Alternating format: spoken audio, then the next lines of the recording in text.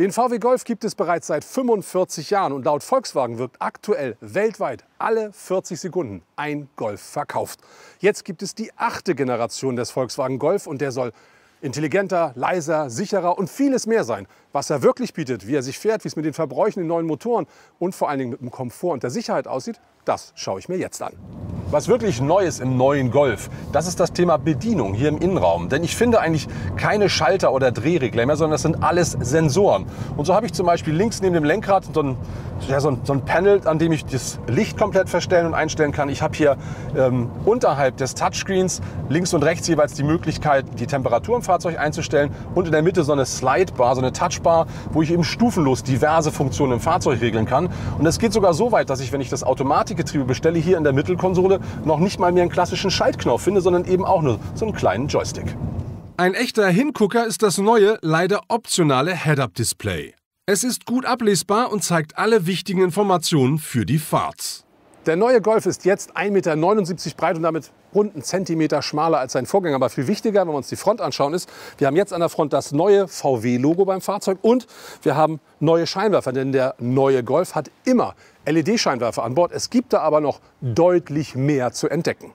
Mit IQ Light bietet Volkswagen für den Golf nun auch LED-Matrix-Scheinwerfer an. Der Dynamic Light Assist aktiviert über die jeweils 22 LEDs pro Scheinwerfer bis zu 10 unterschiedliche, zum Teil interaktive Lichtfunktionen. Dank der Nutzung von Kartendaten in Kombination mit Fahrdaten wie Lenkwinkel und Geschwindigkeit sowie den Bildern der Frontkamera wird die Straße je nach Situation immer perfekt ausgeleuchtet. Mein Testwagen hat den 2 Liter Diesel an Bord und er liefert 110 kW bzw. 150 PS und maximal 360 Newtonmeter Drehmoment. Es ist hier gekoppelt mit einem siebenstufigen DSG, also dem Doppelkupplungsgetriebe. Und dieses Paket, das funktioniert hier im Golf wirklich gut. Es ist jetzt kein neuer Antriebsstrang, aber nichtsdestotrotz, damit habe ich immer genug Leistung, um es auch mal ein bisschen flotter angehen zu lassen, kann aber auch gemütlich cruisen und ähm, habe dann noch den Vorteil des Diesels, das heißt relativ geringe Verbrauchswerte. Und er macht wirklich Spaß. Was tatsächlich auffällt im Vergleich zum Vorgänger ist, das Auto ist wirklich sehr leise. Also ich habe kaum Abrollgeräusche. Gut, bei niedrigen Geschwindigkeiten natürlich keine großen Windgeräusche, aber auch der Motor ist sehr schön gedämmt. Also das ist tatsächlich so ein Schritt besser nochmal als beim Vorgänger. Was bei unserem Golf sofort auffällt, das sind die schönen großen 18 Zoll Aluräder, die er drauf hat, sind aber leider nicht Serie. Gibt da schon kleinere. Jetzt aber zur Größe. Der Golf sieht im Grunde von der Seite aus wie sein Vorgänger. Wir haben so die typischen Proportionen, auch diese typische sehr breite C-Säule, aber die Maße haben sich doch ein bisschen verändert. So ist das Auto jetzt 4,28 Meter lang und damit 2 cm länger als der Vorgänger. Viel wichtiger ist aber, der Golf ist jetzt 1,46 hoch und damit rund 3 cm flacher als sein Vorgänger. Und deswegen sieht er einfach nur ein bisschen gestreckter aus. Außerdem haben wir einen Radstand, der hat ebenfalls 2 cm zugelegt und das sorgt einfach dafür, dass das Auto deutlich länger aussieht, einfach flacher daherkommt und somit nochmals sportlicher. Der neue Golf bietet, muss man fairerweise sagen, genau wie sein Vorgänger hier vorne für Beifahrer und Fahrer, auch wenn sie groß sind, so wie bei mir mit fast zwei Metern, wirklich sehr viel Platz. Man sitzt richtig gut im Auto und hat vor allen Dingen auch die Möglichkeit, nach wie vor das Lenkrad richtig einzustellen, wie man gut sehen kann. Wir haben jetzt hier im Auto kein Schiebedach, aber Kopffreiheit habe ich immer noch mehr als genug. Wie es hinter mir aussieht, wenn so ein Mensch wie ich vorne sitzt, das schauen wir uns jetzt an. So, jetzt habe ich mal angehalten, um zu schauen, ob ich hinter mich passe, ohne meinen Sitz zu verstellen. Und heute habe ich mir mal einen Assistenten dazugeholt. So, dann schauen wir doch mal, ob ich reinpasse, obwohl ich ja schon vorne sitze. So, also die gute Nachricht ist, ich komme rein.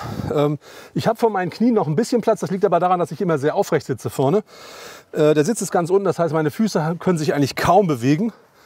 Und Kopffreiheit habe ich eigentlich auch keine mehr. Ich stoße mit meinen Haaren zumindest an die Decke. Aber ich bin halt eben auch nicht Gardemaß. Und ich denke, wenn 1,80 Meter vorne sitzen und würde und 1,80 Meter hinten und vielleicht auch beide 75 Kilo, dann geht das auch für eine längere Strecke.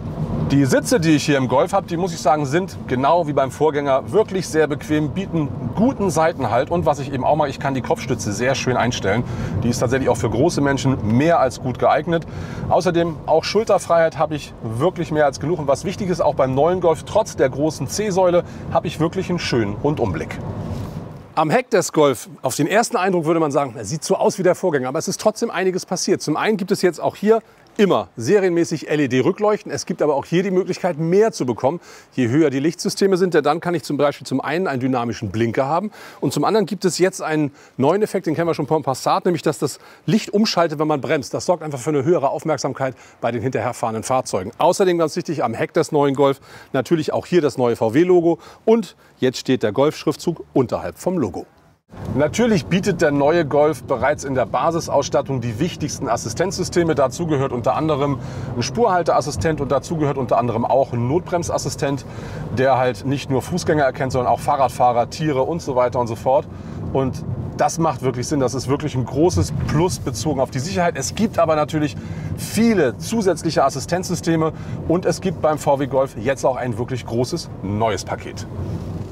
Zusätzlich gibt es eine Ausweichunterstützung und einen neuen Abbiegeassistenten ab Werk. Wem das nicht reicht, der kann seinen Golf mit dem IQ Drive System nochmals komfortabler und sicherer machen. So sind unter anderem nun die neue vorausschauende Geschwindigkeitsregelung, der Stauendassistent und ein Ausstiegsassistent verfügbar. Thema Verarbeitung und Materialien. Natürlich erwarte ich vom Golf eine wirklich perfekte Verarbeitung und da enttäuscht mich auch der Golf 8 nicht. Es ist alles wirklich schön verarbeitet. Wenn wir über das Thema Materialien sprechen, dann muss ich jedoch sagen, ist es so, dass wir hier oben auf dem Armaturenbrett und im oberen Bereich der Türen natürlich Softtouch-Materialien finden. Darüber sehr schöne Materialien hier beim Armaturenbrett oder an den Türverkleidungen. Aber sobald ich unter das Niveau vom Armaturenbrett gehe, finde ich nur noch Plastik. Und das muss ich ganz ehrlich sagen, finde ich ein bisschen schade. Wo ich gerade am Heck stehe, schauen wir doch mal in den Kofferraum unseres neuen VW Golf. Mit aufgestellter Rückbank, da bietet er genau wie der Vorgänger 380 Liter maximales Ladevolumen. Klappe ich jedoch die Rückbank um, dann wächst das Ganze an auf hier maximal 1237 Liter. Und das sind übrigens knapp 35 Liter weniger als beim Vorgänger.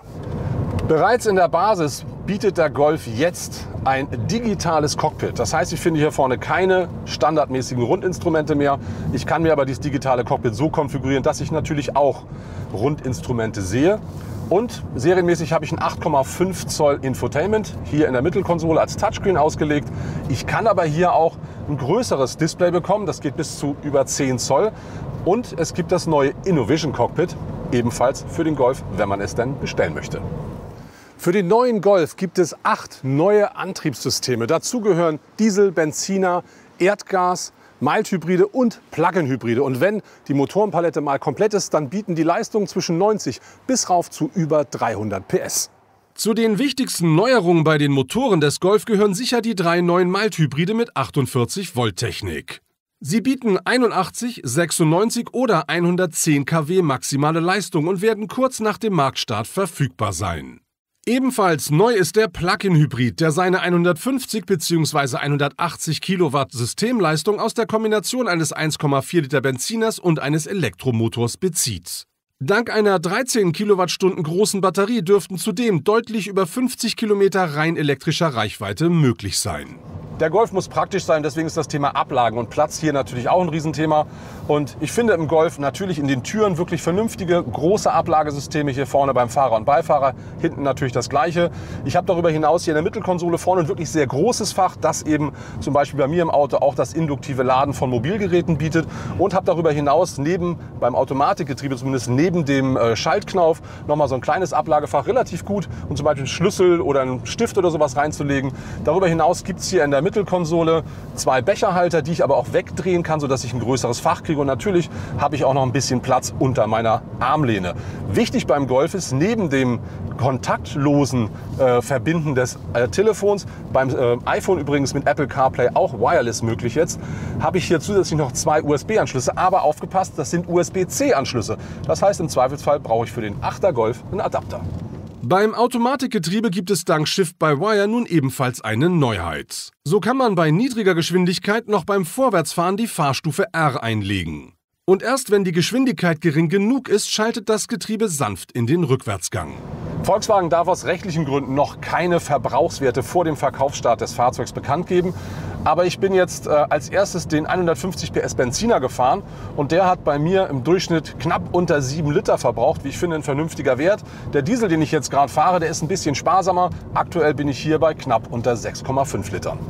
Fährt man den Golf jedoch etwas ruhiger, lässt sich der Verbrauch leicht auch in Richtung 5 Liter Diesel drücken. Das war meine Probefahrt im neuen VW Golf 8. Was ich tatsächlich neu finde und woran ich mich wirklich gewöhnen muss, ist das Bedienkonzept im Fahrzeug. Denn ich habe nur noch Touch-Buttons oder Sensoren und es ist wirklich neu. Etwas, was man wirklich erlernen muss, aber nichtsdestotrotz wirklich schön gelöst.